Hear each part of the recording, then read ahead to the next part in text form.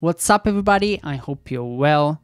So I decided to make this video because there have been a few changes in my template and nothing major, but with all your questions being what kind of sounds do you use, what kind of libraries do you have and stuff like that, I kind of feel like I owe you guys an update. And I don't know, I thought it would be fun to maybe do one of these sorts of videos, maybe like once a year, roughly in the same kind of period. Also super important before we jump into the template, because I know I will get questions on this Yes, the template is indeed available for download, but only on my Patreon. And sorry if this sounds like a shameless plug, I do always mention stuff like this at the end of the videos, but by the time we get to the end, everybody clicked off already. So yeah, all right, here it is. Uh, this is how the template opens up.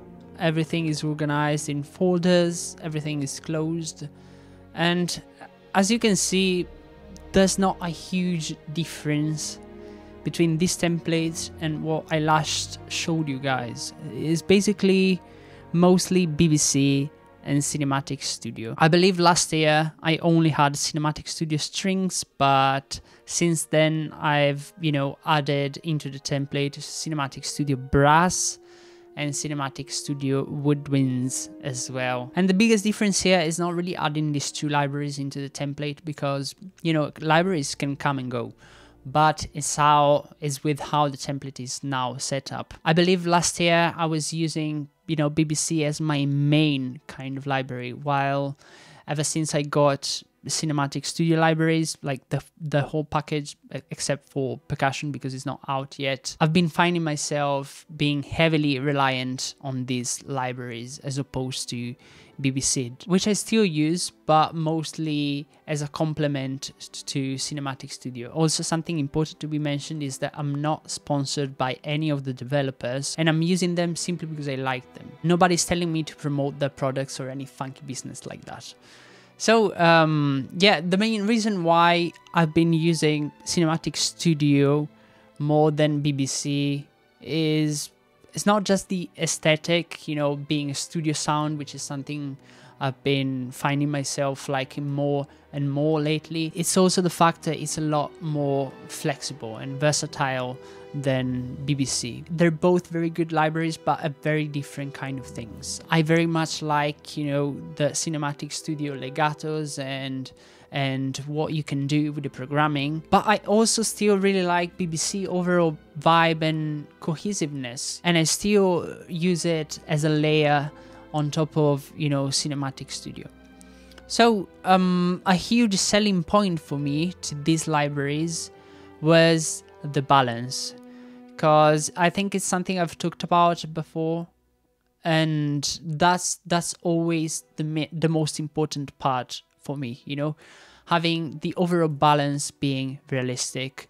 And I find these cinematic studio libraries being as close as you can get, really. What I used to do before getting these libraries to balance my template was basically just, you know, play in a few bars of Star Wars or something like that, and then, you know, reference my balance to the actual recording but having something obviously that that is already being done for you it's a huge time saver. And i think greatly improved the quality of my work. With that in mind uh, let me just open up you know the whole all the folders and show you guys what i have inside. All the faders as you can see you know this is cinematic studio woodwinds you know with the flutes the oboe. All the faders inside the stems are set to zero pretty much.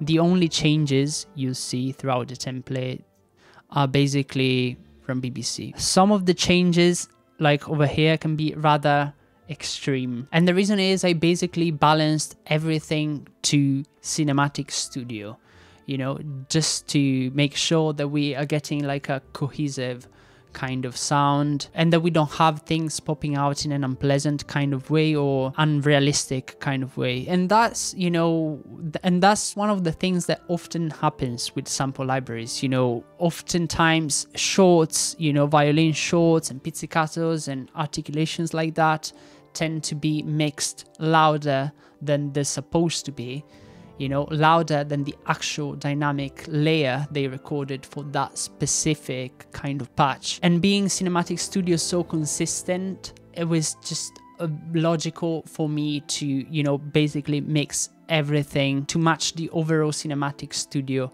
balance. So basically that's the main difference between this template and the previous one. It wasn't really adding, you know, a couple of libraries and having a clear reference on what the overall balance should be is particularly helpful when you're trying to balance some trickier articulations across libraries. Let me explain. On BBC Brass, we know the developers recorded only like two dynamic layers. So if I if I set a fortissimo on CSB as my benchmark, I know for a fact that you know the top mezzo piano on a solo French horn from BBC cannot go louder than a fortissimo from CSB, otherwise it will sound very unrealistic. So let me just load this up and show you guys what I mean. This is quite clearly like a mezzo piano kind of thing. I think it might be a little bit loud actually. You see, still making changes. If I open up a, uh, an instance of CSB, same note at the top of the mod wheel, this is fortissimo. So I don't want this top mezzo piano from BBC to go louder than the fortissimo. So that said, if we scroll at the top of the template, let's let's I'm gonna show you the stuff that's hidden later. As I said, I have Cinematic Studio uh, woodwinds and BBC woodwinds. Then we still have sample modeling brass, which I still really enjoy using. I know it doesn't sound very good out of the box. We talked about this in the previous video as well. The reason why I use sample modeling, it's only one patch that basically allows me to play all sorts of micro articulations without having to key switch.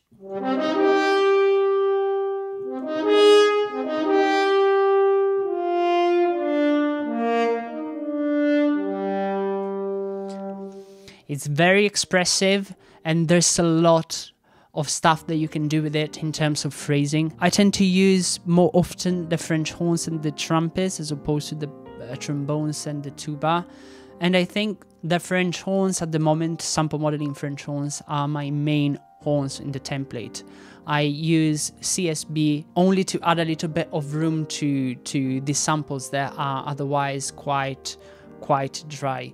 And the placement here was particularly tricky. What I did is kind of specific, is we have a directional mixer at the top of the chain, then an equalizer, you know, cutting a little bit of the lows and the high mids, and then an instance of seventh heaven, which is basically like a reverb, and and then we have a post EQ and some of these curves are quite extreme. I've been tweaking these curves forever, ever since I got the library. And, you know, I'm, I'm still not very satisfied by it, but I'm willing to compromise the sound with the playability. All sample modeling are routed to their own output, on which I have other other effects as well. I have a gain, just basically to boost the overall volume a bit because with with the reverb being an insert and being almost 100% uh, you know mixed in we kind of lost quite a bit of volume so plus 12 dB. Then we have a directional mixer which I'm not using for panning here. I'm mostly using for narrowing the stereo field which got too wide after you know using the reverb. Then we have another equalizer and at the very end of the chain we have this uh, what is this? This is ah okay. This is basically some kind of tape emulation which i basically use to you know re reintroduce a little bit of the sparkle and the natural harmonics that we lost from all the carvings and the eqing that we did. And obviously i have different curves across different instruments but the overall concept is the same for the trumpets, the trombones, and the tuba and the bass trombone. I'm still not super fond of the trombones, but I do still use them because they obviously being uh, by the same developers. They blend very well with the ref- with the rest of the sections. So following sample modeling, we have CSB, very useful. I use them all the time. I like everything about it. The only thing I don't particularly like compared to the other cinematic studio libraries is that for the legato patch, we still have some rather extreme latencies, which is something that is not the case for the for the other two libraries, you know, Cinematic Studio Woodwinds and Cinematic Studio Strings. Because with Cinematic Studio Woodwinds, I think there was an update. Uh, there was an update, and they introduced a new kind of articulation. This, you know, uh, legato, low latency, and expressive.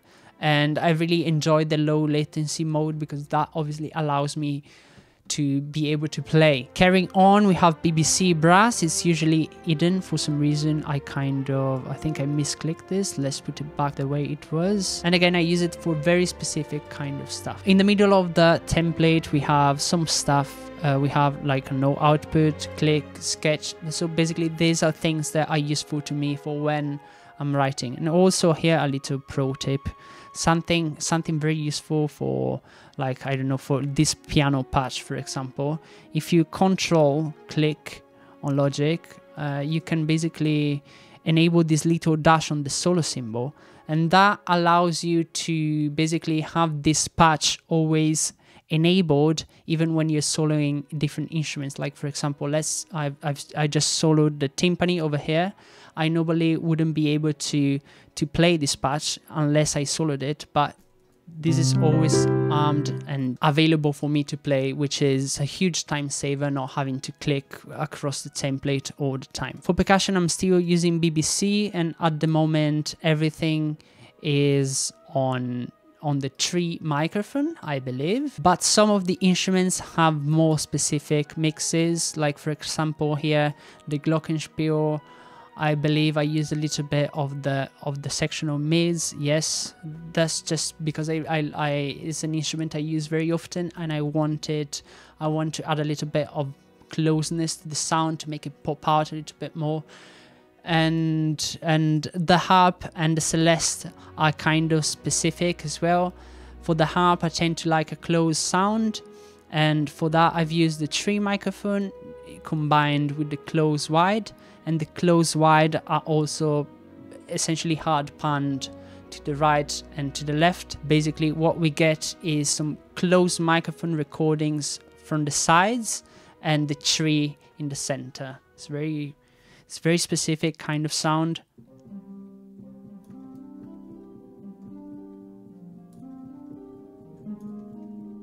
In terms of EQ, I've done something like this, basically cutting a bit of the lows, quite a bit of the lows actually, because because I tend to do a lot of harp glissandos and stuff like that, and I don't want that low rumble to build up. And for the Celeste, uh, I think it should, it should probably be just three microphone with dust range. Let's just put that back to zero tree microphone and stereo microphone, which is basically like a closed mic recording as well. Now, pianos. For the piano, I only ever use Cinepiano, which is just fantastic. Out of the box, you get a whole bunch of mixes. They're all very useful. They all sound great. Sometimes I like to use these orchestral mixes, orchestral left, orchestral right. But most of the time, I tend to use the Cinepiano patch, you know, the standard patch I tend to use it for piano up front, while for something a little bit more orchestral, I tend to use the classical uh, patch because it sounds like uh, it's a little bit further away from you. And about the strings, again, we have Cinematic Studio uh, strings and BBC strings as well. Now, this is the core of my template, but if I press the H button on my computer keyboard, a whole bunch of extra stuff pop up, like for example, Hollywoodwinds, which are fantastic. I use them for runs all the time. Is this kind of sound you heard like a billion times. Everybody has has them because they sound incredible. And I do occasionally use other stuff like, um, you know, like this minor triads kind of thing. They're pretty cool.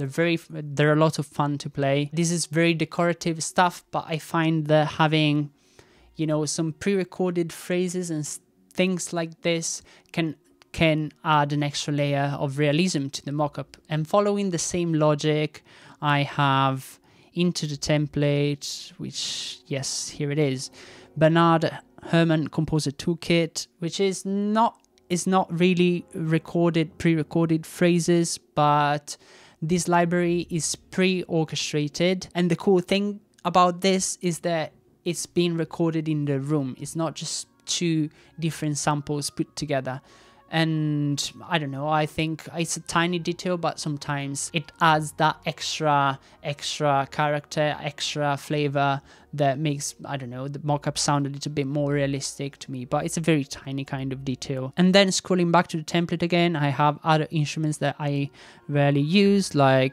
uh, you know, BBC English horn and BBC contrabassoon, a whole bunch of audio tracks just in case I need to record something live like a guitar or a bass or something like that. And then just moving to the percussion again, these are samples that I recorded myself. You know, is mostly percussion stuff, you know, weird percussion sounds, like this fun little library ASMR percussion.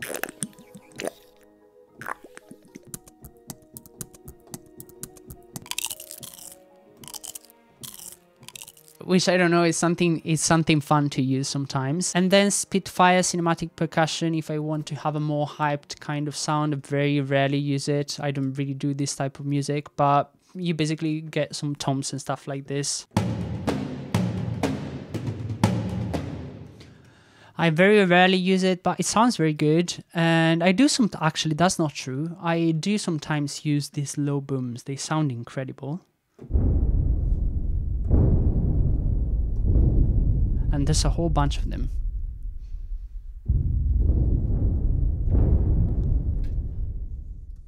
So that's it. The rest of the piano and Plaxis stuff, you know, just, you know, regular stuff like kalimba and harpsichord and toy piano and things that, you know, you would rarely use in an orchestral piece, but, but it's useful to have and it's fun to have these kind of things uh, sometimes. So, um, let me show you how the template sounds like. I know you already know how it sounds like, but just for fun, I just wrote a little something for you guys to show you the new balance and, and everything we have been talking about. So let me close this and open the project. Also, something I forgot to mention very quickly. Uh, I was I was briefly talking about some of the microphone positions before in BBC.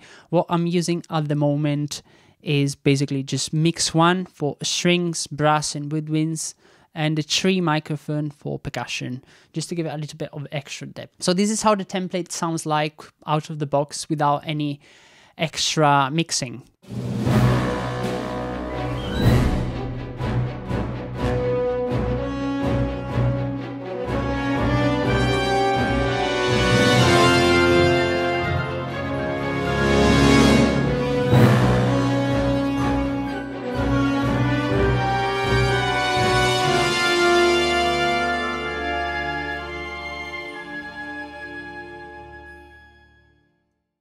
So yeah, that's the overall sound of the template. Um, in terms of you know effects and stuff, it's just really regular stuff.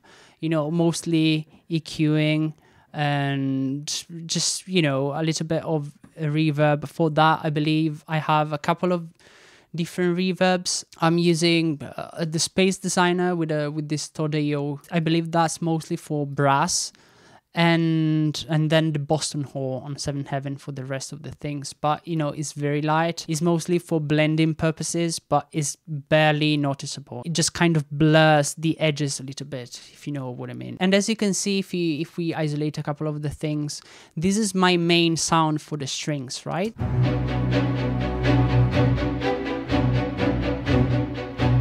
And if I add BBC, it just adds a little bit of extra depth really to the sound.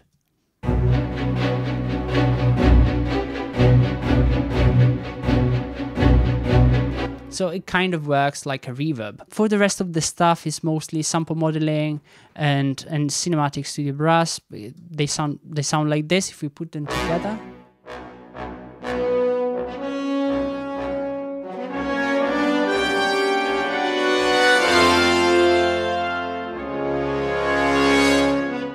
It's a very natural kind of blend. That's that's the that's the reason why I like to combine the, these two libraries together because both having a drier kind of sound, they naturally blend together very well. And for the woodwinds, I do sometimes still use BBC occasionally on its own because being Cinematic Studio woodwinds a little bit closer, you know, a smaller kind of space. If I want to just push the woodwinds a little bit further away uh, from me, I just kind of uh, tend to use BBC while uh, Cinematic Studio Woodwinds adds a little bit of punch. That's super strange. Um, what did I do? I can't remember.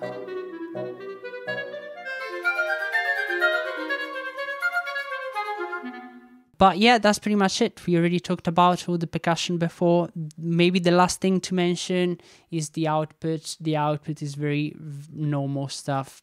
You know, I've got a gain which I haven't used for this piece specifically because it's pretty loud already. Then equalizer, just smiley brighty kind of curves. And then this is basically just like a like an imager just to widen the sound a little bit more, just make it sound a little bit more modern, you know. And then a limiter at the end of the stage just to protect myself, protect my hearing in case something something goes wrong and I get some kind of feedback coming from the template and stuff like that. And so that's it. The routings is still the same as the previous template. I have basically one stem per instrument. They all have their own specific output but they also have their own specific bus just in case I I then later need to you know print all the stems into audio. So basically, I have some audio tracks over here which are taking the in from from essentially the bus.